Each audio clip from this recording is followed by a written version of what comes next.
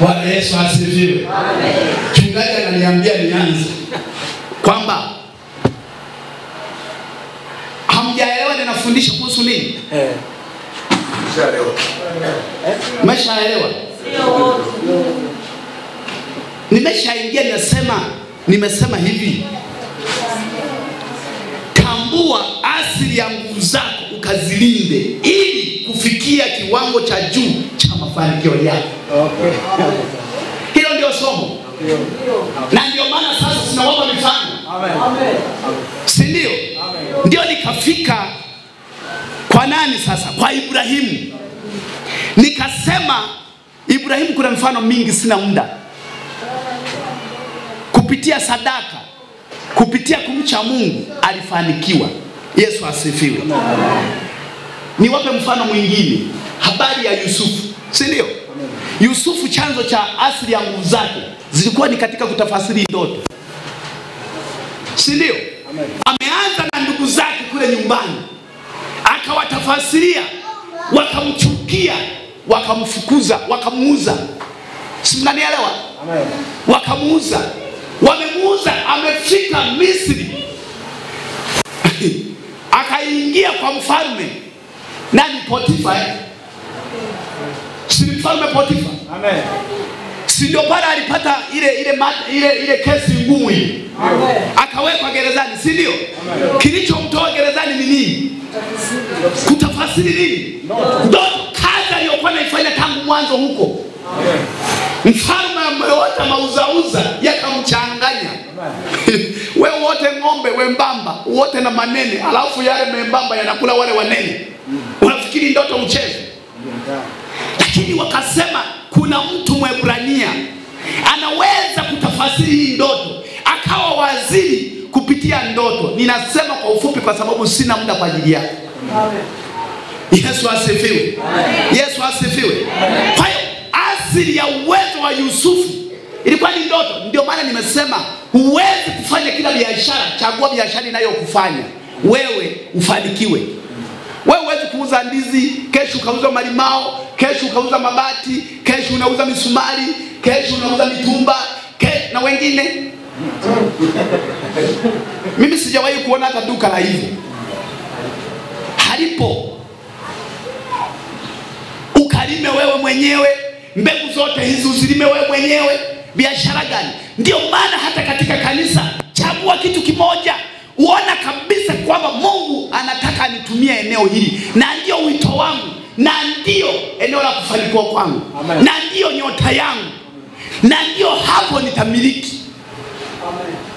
Yesu asifiwe. Yesu asifiwe. Hata watumishi tuko hivyo. Kuna mwingine nikufundisha juu ya Roho Mtakatifu, kuna mwingine anafundisha juu ya masomo ya utoaji, kuna mwingine anafundisha, amepewa na Mungu kibali hicho. Huwezi ukafundisha masomo yote, hata kama utayafundisha sio kwa kiwango hicho. Kwa hiyo Yusufu nguvu zake zilikuwa katika ndoto, kutafasiri ndoto. Unaweza tu ukawa unatafasiri ndoto na ukabarikiwa. Yesu asifiwe. Yesu asifiwe. Nuje Petro. Petro mpaka aliachiwa kanisa, na mimi huwa nampenda Petro. Asili ya nguvu zake ilikuwa katika imani kubwa. Petro msumbukie na mambo mengine, lakini kwa Yesu ilikuwa kiboko. Mnanielewa? Mfano mzuri alipoleta hoja ya kuuawa, si ndio? Petro akamwambia mzee, hakuna wa kukushika hapa, hayupo, tupo sisi. Wakaleta wakamwambia, tuna visu watashughulikiwa kikamilifu, na waje na waje. Na kweli jamaa wakatokeza. Walipotokeza Petro alinyanyuka akapitia kile kisu, akatoka na mmoja akapitia sikio akamwambia akamwambia Yesu, umeona sasa, nimeanza hii ni trailer, nataka nirudie, nataka hawa wasikie kwamba walikuwepo. Na mimi wanatamani Yesu angemwachia Petro hata dakika ishirini, angemwambia mwanaume, chakaza, zinge wasingeona ndani. Yesu akalifata lile sikio akamwambia, wewe ndugu, hatuendagi hivyo. Hii sio stari ya uimbaji wetu ndugu. Sisi bwana tunaimbaga tofauti. Hebu rudisha. Akamrudishia lile sikio. Ye Petro akasema huyu mzee huyu, akasema sasa, kama ni hivyo, pambana na hali yako. Mimi sema si nimetosha. Mwambia pambana na hali yako. Na kweli Yesu alipambana na hali yake, maana Petro ndipo alipotoka akarudi wapi? Nyuma. Angemwacha. Yaani wanatamani Yesu, ningekuwepo nikamshauri amwache. Yesu alisamehe huko lakini ningemshauri Baba, hebu mwachie Petro. Alikuwa tayari kufa. Kwa hiyo Petro hakuwa mnafiki, alikuwa na imani kubwa kwa Mungu. Yesu amesulubiwa, amepiga, amemwambia, amemkana mara tatu, akakumbuka, akasema tena kwenye kumkana ameenda anafuatilia, ana imani na Yesu, anasema labda anaweza akaniambia Petro, rudi ulingoni wasambaratishe. Anaenda naye, anaenda naye, wamefika sehemu, kamama kaka moja kama kakamsimamia, akasema lakini wewe ni kama ulikuwa naye. Akamwambia wewe mama, usiniletee laana hapa mama, nitakubamiza. Tulia, usilete mkosi. Akatoka akaenda upande mwingine akatulia.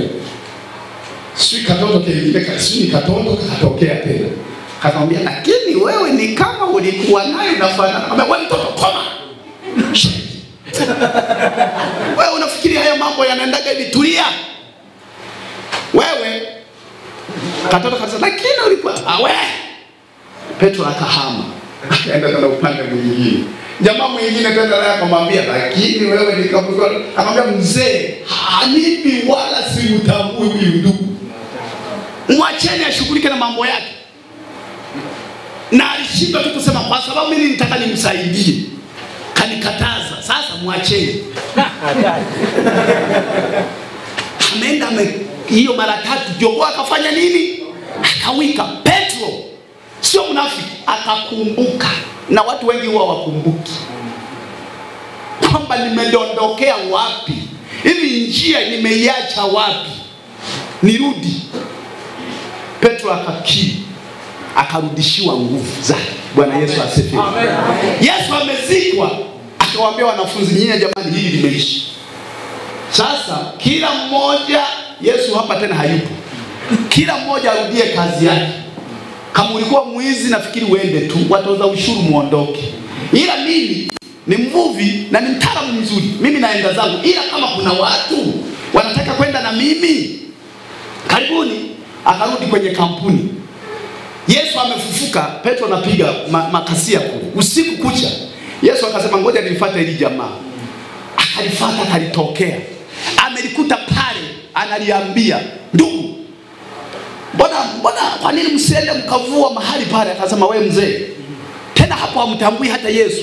Amevaa, unajua wavuvi wanavyovaa masempele, hana zile kazi tena, yuko anashughulikia samaki na wale wengine nao. Kaambia mzee, usiku kucha, na Petro alikuwa mtaalamu, akiona upepo fulani anajua kwa samaki wako, akiona upepo fulani anajua kwa hamna. Akasema usiku kucha sisi tumehangaika we vipi? Toka. Yesu akanamwambia ungejua naye kuambia ungeshusha nini?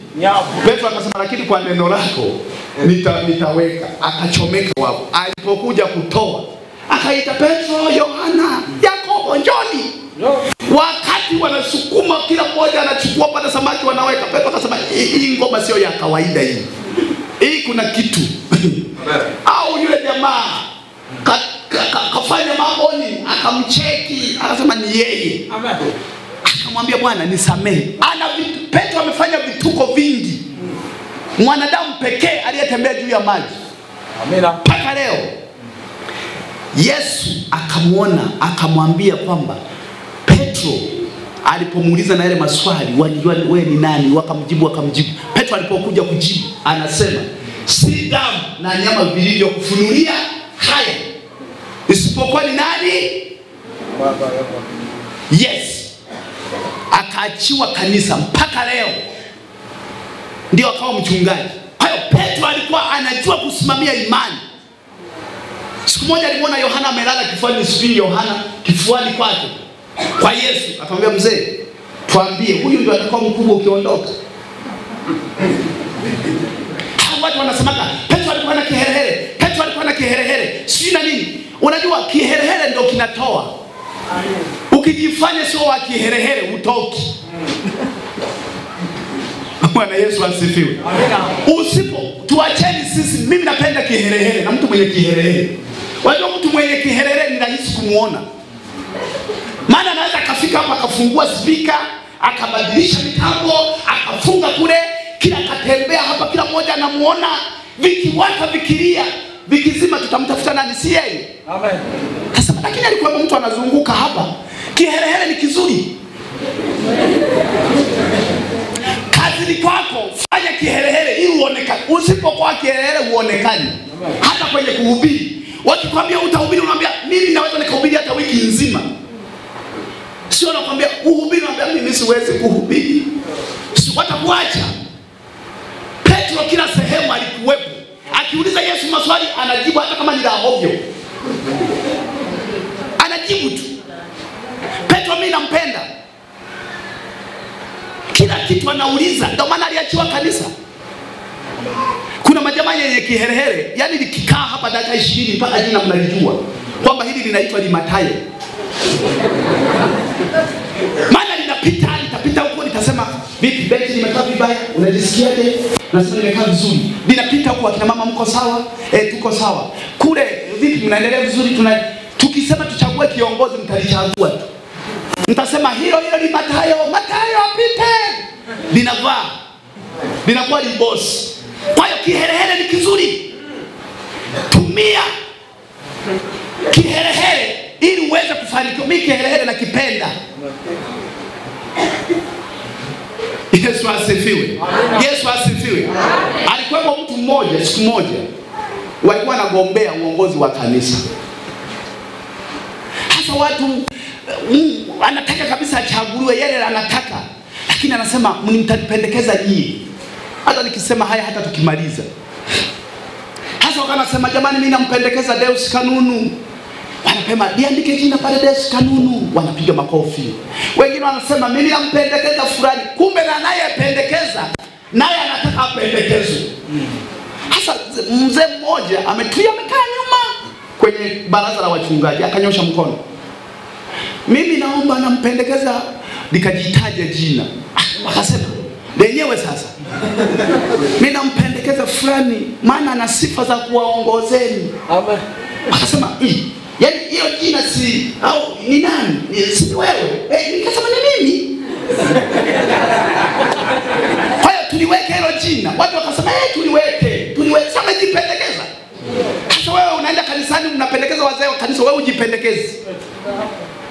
Unakuta pendekeza tu wengine. Lini utakuwa mzee wa kanisa? Lini utakuwa katibu wa kwaya wewe jipendekeza hata kwa master hata kama hujui mwambie mimi ndio nitakuwa kwa master kuanzia leo juu ya kwanza mm, mm, ya pili eh, ya tatu eh. Sasa wakasema jamani, eh, kama huyu ndugu kajipendekeza, wakaanza sasa kuwaambia kila mmoja, jamani, kila mmoja ajieleze. Wakasimama, niliposimama ile jamani, kawaambia hivi, hawa wengine uwezo wa kuongoza hawana, ndio maana wamependekezwa. Wangekijijua wana uwezo wa kutuongoza, wangejipendekeza wenyewe. Mimi nimejipendekeza mwenyewe, maana ninataka niwaongoze nyie. Mimi ni kiongozi mzuri kwenye kampeni. Hata watu wakatazamana wakasema, ila kweli hao wengine hawatujawasikia, wamependekezwa na watu hivi, wanania kweli? Tumpe huyu. Nikapewa, nilipopewa tu likapita kwa kura nyingi, nikawambia kuanzia leo natoa maelekezo. Mimi ndo mwenyekiti mpya, naanza kutoa maelekezo. Kamati tendaji mbaki, wale wengine kuanzia kesho nitaanza kupita kwenye makanisa yenu kukagua uhai wa kanisa. Nimeanza kupanga na mipango.